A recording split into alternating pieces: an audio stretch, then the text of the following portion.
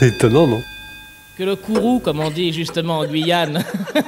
On applaudit pour le courroux. Allez, allez Allez, Krishna non, non. Que le courroux donc de- du peuple français s'abatte sur la tête de l'homme qui se trouve au banc d'infamie par la voix du procureur général de la République des proches françaises.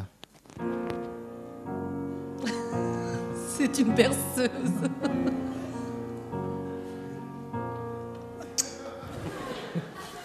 Française, français, péruvienne, péruvien, belge, belge, mon président, mon chien, ma maîtresse, ma chienne, mon flicounet exotique, bon vache. Mesdames et messieurs les jurés, public chéri, mon amour.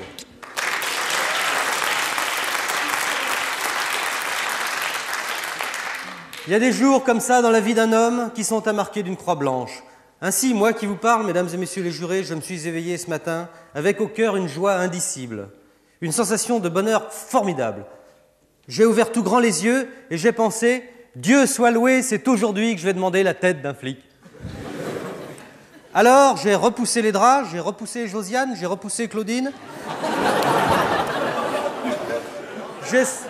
J'ai- sauté à pieds joints dans le pot de chambre. Vous allez me dire, t'avais qu'à allumer.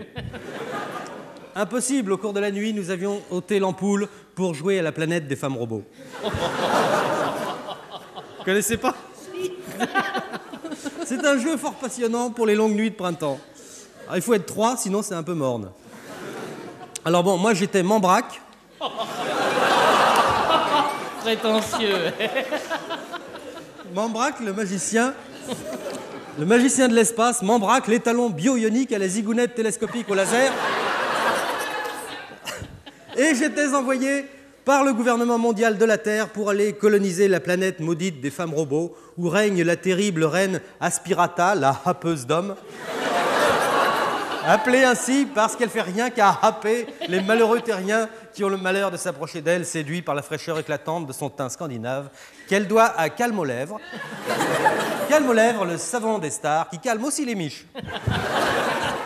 Dotée d'un pouvoir clitoscopique incroyable, Aspirata la happeuse n'avait jamais pu être réduite à merci jusqu'à ce jour, car son palais supraterrestre était gardé nuit et jour par le terrible monstre Sei, son garde du corps. Il était horrible, monstre Sei. Il a une tête de lama sur un corps d'employé de la sécurité sociale préposé au service de l'accueil des assurés. Quelle horreur Heureusement, il est encore plus bête que méchant. Entièrement automatique, livré qu'une pile de rechange, toujours à l'heure, à la seconde près, tel est le lama, monstre Sei, con à quartz, il sort exactement en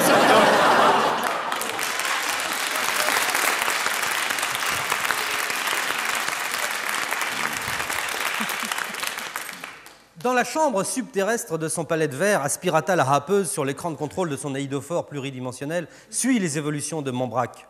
Près d'elle, ses deux inséparables et fidèles gargouilles à quartz, Claudine la pétasse gonflable et Josiane la grognasse électrique. Voilà, voilà pourquoi je ne pouvais pas allumer la chambre ce matin. Pour faire la pétasse gonflable, bon c'est facile. J'ai pris la pompe à vélo et euh, Oui, j'ai oui, gonflé Claudine. D'accord, d'accord. Mais pour faire la grognasse électrique avec Josiane, il a fallu lui enfoncer l'ampoule dans la bouche et le fil. euh, Non. C'est branché comme jeu. hein. Oui. Mais voici que Mambraque le magicien est devant la porte biochimique gardée par le monstre Sei con à quartz. Mambraque sait que sa terrible zigounette télescopique au laser à tête chercheuse est son seul espoir de venir à bout du monstre hideux. Alors il cherche à séduire le monstre. Moi Tarzan, toi Jeanne. Ouah rugit le lama monstrueux, ce qui signifie appelle-moi Serge. non, toi pas Serge, lama, toi Jeanne. Moi Tarzan. Moi, Tarzan. Un quart d'heure plus tard, le monstre, Béa, ne bougeait plus. Alors, heureuse, dit Mambraque, en allumant une cigarette. Il n'eut plus qu'à pousser la porte aux enzymes électrocosmiques pour pénétrer dans le palais. En le voyant entrer, les deux inséparables et fidèles gargouilles à quartz firent un rempart de leur corps pour protéger leur reine, Aspirata la happeuse, du bel étalon bio-ionique. Mais Mambraque était le plus fort. Tout se passa très vite pour les deux gargouilles. Moi, Tarzan, toi, Jeanne, zim, boum, pan. Alors, heureuse, et de deux. Moi, Tarzan, toi, Jeanne, zim, boum, pan. Alors, heureuse, et de trois. Maintenant, Mambraque était seul. Seul face à Aspirata la, rappeuse, pardon.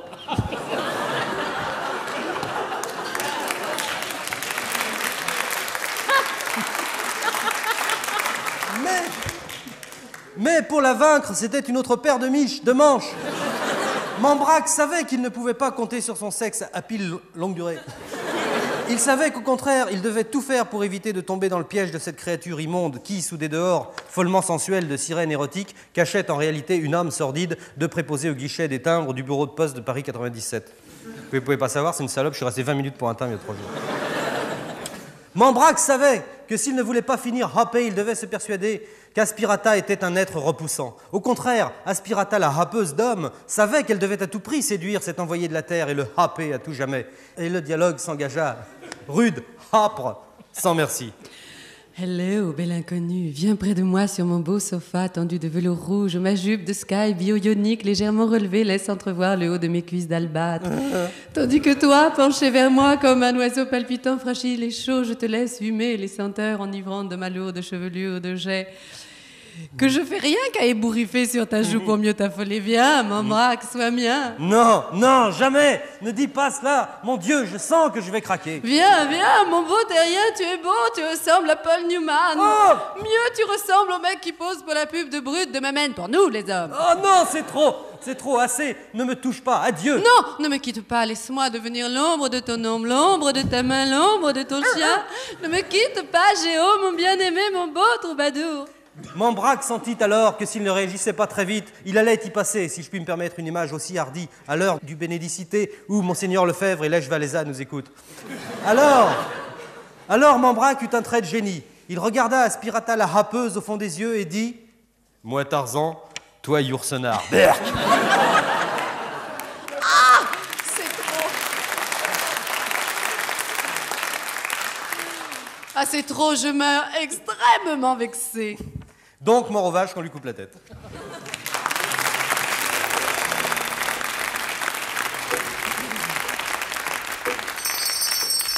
C'est étonnant, non?